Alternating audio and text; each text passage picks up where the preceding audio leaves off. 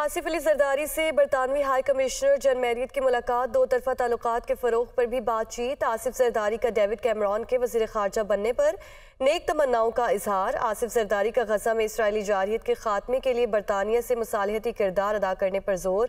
कराची से मोहम्मद अशद अपडेट करेंगे। मोहम्मद अशद, बताइए इस मुलाकात के हवाले से। जी, बिल्कुल देखिए, पाकिस्तान पीपल्स पार्टी पार्लियामेंटेरियंस के सदर आसिफ अली जरदारी की बरतानवी हाई कमिश्नर से मुलाकात हुई है। मुलाकात में आसिफ जरदारी की शाह चार्ज के जन्मदिन के हवाले से इजार मुसरत का जो है वो पैगाम भी जो है उनकी जानब से दिया गया है। ही सदर सदर ममलिकत आसिफ जरदारी ने डेविड कैमरॉन के वज़ीर खारजा बनने पर भी नेक तमन्नाओं का इजहार किया। मुलाकात में आसिफ जरदारी ने गजा में इसराइली जारियत के खात्मे के लिए बरतानिया से मसालती किरदार अदा करने पर भी जो है वो ज़ोर दिया है। आसिफ जरदारी और बरतानवी हाई कमिश्नर के दरमियान दो दो तरफा ताल्लुक के फरोग पर भी बातचीत हुई। इस मौके पर सेनेटर सलीम मांडवी वाला और डॉक्टर आसिम भी जो जो थे, वो मौजूद थे। जी।